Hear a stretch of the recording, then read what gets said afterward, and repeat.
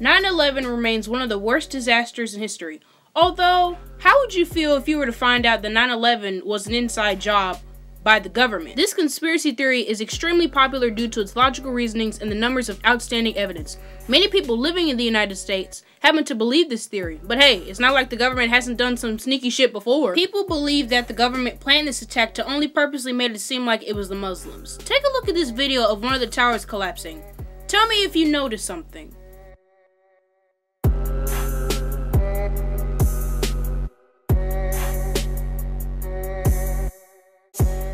Didn't catch it the first time? Look at it again.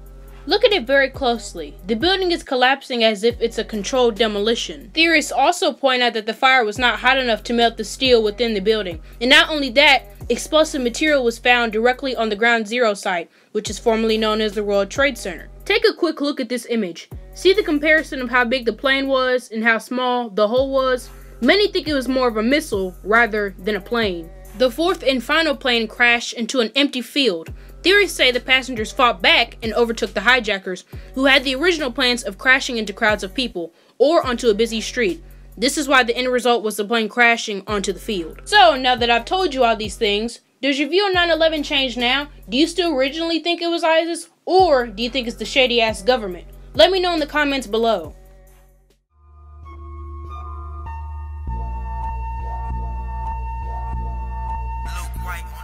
The Mandela effect is a term for which people remember or who have a false memory of a saying, detail, or event the wrong way. It's a term that came from Nelson Mandela, who everyone thought died back in the 80s but died prior in 2013. Many people think the Mandela effect is due to the world having an alternative universe or some stupid shit like that, or that someone's going back into time and changing things around. There is a high number of evidence pointing to this. One of the most loved Disney movies of all time, Snow White, is a prime example.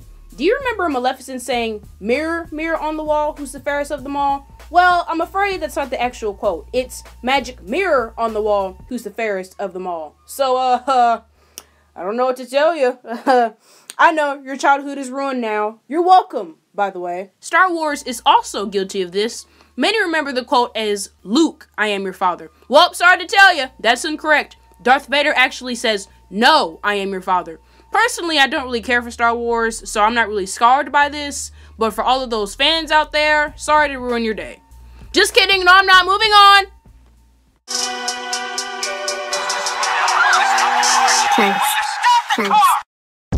The New World Order is widely considered the biggest and most controversial conspiracy of all time. Most conspiracies draw back to the New World Order, one big government controlled by few. No one knows exactly who those select few are, but there are suspects and guesses, such as the Illuminati, businessmen, and even the British royal family are accused of being in the New World Order. This government was created to lure people into an isolated like state so they can be controlled and dominated. The New World Order is also known by theorists for limiting one's choices in education so the people can easily be more controlled. I won't speak any more on this theory due to legal issues, but I would like to know your opinions down below.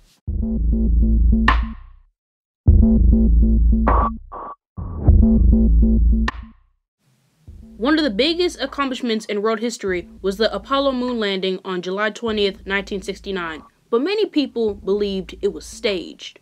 Here's the deal. Supposedly America didn't have the required technology to go through this, so they just thought, hey, why not fake it? Getting onto a stage set and faking the entire thing sounds simple enough. A lot of people tend to question the C mark, which happens to be a rock on the moon which had a C carved onto it. Sure, it might be a coincidence or edited, but what if it was a prop? Also, in the photograph taken, you can see the flag waving.